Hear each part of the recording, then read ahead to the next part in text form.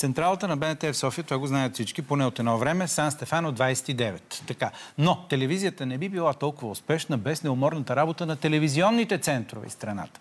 На 7 ноември 1972 година беше поставено началото на регионалния център в Русе. Вижте как. Интересът на русанци към чудото, наречено телевизия, не е от вчера. Още преди създаването на българската телевизия, в града има приемници и се гледа румънската програма. Все по-често витая мисълта, че на аристократичния Русе не по-малко би му приличало да има телевизия. На вечерието на 7 ноември 1972 година в града се изсипва внушителна група познати от националния екран лица, които заедно с няколко местни ентусиасти предават на живо част от празничната манифестация. На екрана на българската телевизия за пръв път се появява заставка Телевизионен център Русе. Събитието е почетено с празничен коктейл в клуба на дейците на културата, на който местните превенции и столичните телевизионни творци вдигат тостове за успешното начало и за бъдещето на отрочето Телевизионен център Русе. А сега от инженер Калчо Петков ще разберем повече подробности около началото на регионален телевизионен център Русе. Ние ви виждаме, господин Петков, но не ви виждаме пред сграда, а пред багер. Защо? Здравейте, господин Штарев, здравейте, госпожа Надя, очарователни, както винаги. Както знаете, всяко начало е било изключително трудно. Защо съм пред този багер и защо държа в ръката си малко плюшено котенце? Сега ще ви обясня. Когато се поставя началото на телевизионния център с тази манифестация, режисьорът на предаването разбира, че лицата на партийните лидери няма да бъдат огрени много добре. Тоест, ако преди манифестацията е била отгоре надолу, той е обърнал манифестацията отдолу нагоре. И тук възниква малкият проблем. А именно, къде ще минат кабелите на ПТС-а? И тогава се решава, здравейте, господин Максимум, след малко ще продължим Здравейте, с вас. честит празник. Така, къде ще минат кабелите на ПТС-а? Това означава стотици русенски крака да минат върху кабелите, което си е някакъв ужас. И тогава решават да прокопаят канал, както е този канал тук, през площада. Поставят една тръба, слагат отгоре отново паветата и се пробват да пъхнат кабела. Обаче кабелът е много гъвкав и не може да мине. Тогава идва гениалната идея, която днес би предизвикала ужас във всички природозащитници. Хващат едно бездомно котенце, връзват на него една корда, примамват го с валерян от другата страна на тръбата и той издърпва кабела. Така е поставено началото на една успешна продукция, наречена манифестация по случай Великата октомврийска социалистическа революция. Господин Максимов, здравейте, вие сте един от доаените на този телевизионен център. Да, и много се радвам. Съм до голяма степен носталгично настроен, като гледам Вървете с мен сега да покажем а, а, телевизионния ни център на нашите зрители.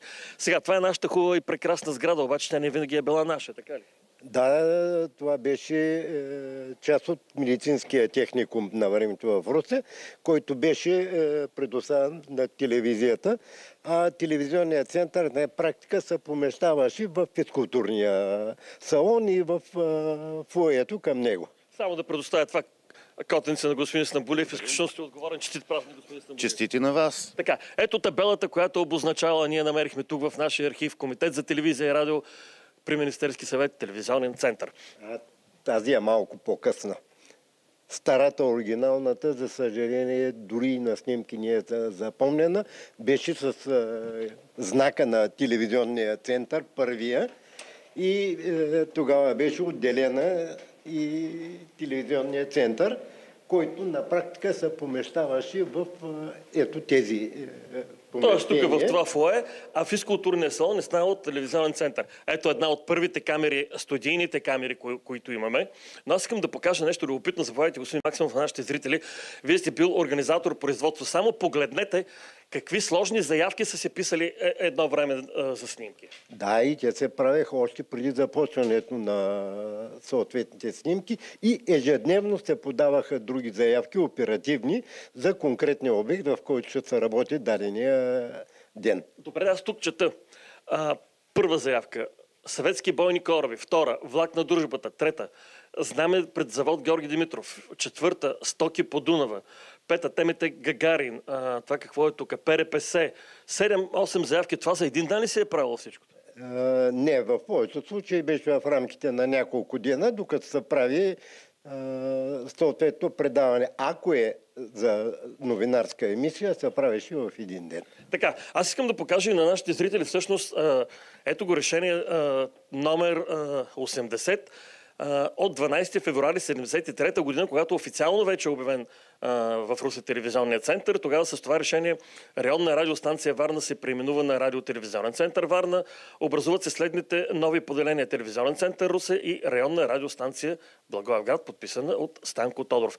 Много филми сме правили и новели на времето. Да, работиш много, тъй като да влезем в оперативната журналистика по технически причини най-вече беше затруднена и имахме обикновено от една до три минути дневно в централната емисия на националната телевизия и за да се оплътне времето на екипа, се снимаше и то филмово, много филмова продукция.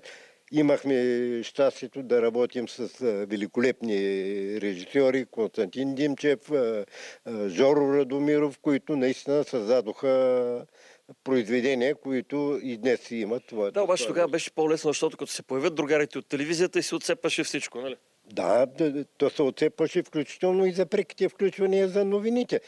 Тук сградата на телевизионния център, а, понеже беше павирана а, улицата, а, половин час преди емисията и 15 минути след нея се спираше всяко движение, за да не влезе, дай се Боже, някакъв шум в звука. Така, ето го и господин Валю Русев. Заповядайте, господин Русев. Вие сте един от доените на нашия телевизионен център. Само да кажа, че в началото много от вас сте били назначени към Окръжния комитет за изкуство и култура. Вие сте били културно-масовик, друг е бил ръководител на Духов оркестър, третия е бил към фонд земеделие, нали, докато се направи щат. Но аз искам с вас да покажем някои от камерите, с които сте работили на времето, защото много от нашите и млади колеги не знаят какви са били, колко големи, тежки.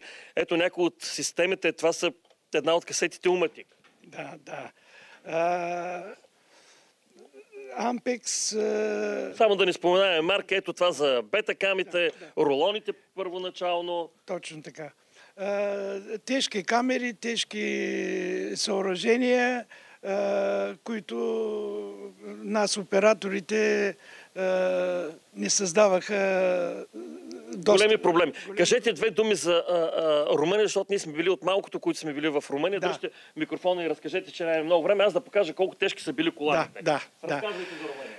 А, 28 е, декември бяхме дежурни на на Дунав мост, като а, винаги там а, ходихме да събираме от идващите камиони, тирове информация.